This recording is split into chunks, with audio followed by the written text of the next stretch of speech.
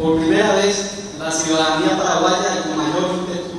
el departamento de Itapúa, se propone realizar un pedido al Estado que demuestra un arraigo de esta ciudadanía a la riqueza natural y biológica que nos ofrece nuestro querido país. Este pedido se realiza sin intereses particulares y con el solo objetivo de buscar el bienestar común actual y de las futuras generaciones. Se manifiesta con el único propósito de salvar una de las últimas áreas que quedan de un ecosistema que hace 50 años cubría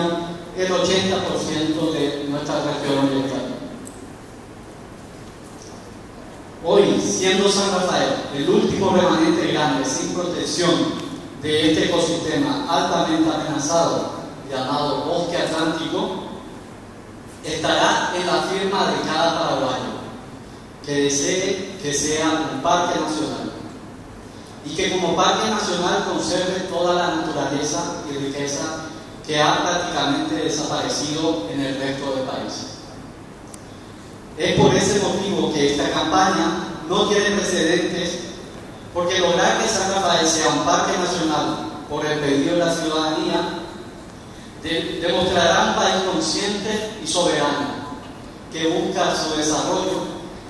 pero sobre todo que valora los recursos que en ella contiene. Desde la Asociación Pro Cordillera San Rafael la satisfacción que nos provee la participación de la gobernación de Itapúa, la Universidad, la Junta Departamental, la Universidad Nacional de Itapúa, la Universidad Católica Campus Itapúa la, y la ciudadanía nos demuestra que no trabajamos por una causa valorada por una minoría, sino que es una causa a la que una gran mayoría se compromete y valora. Y que gracias a esta gran mayoría, un sueño que se hizo,